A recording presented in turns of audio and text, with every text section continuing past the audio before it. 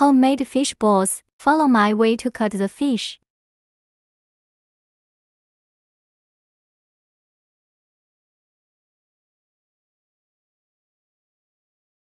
Remove the red part of the fish fillets.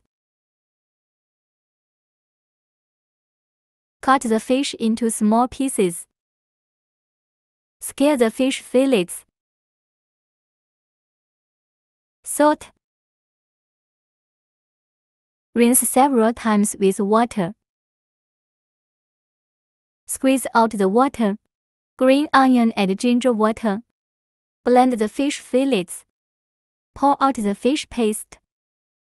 Salt. Stir well. MSG. Huh? Continue to stir.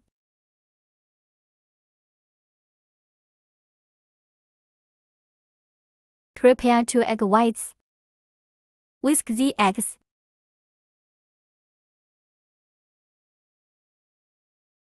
Use an electric hand mixer to whisk.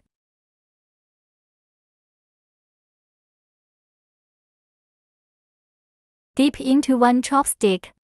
Add the egg white. Squeeze a fish ball into the water to test. It is successful if it floats. Cornstarch lard. Stir well.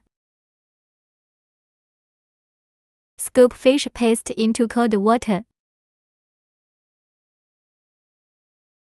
Cook the fish ball on low heat. Chewy, soft, cure or firm.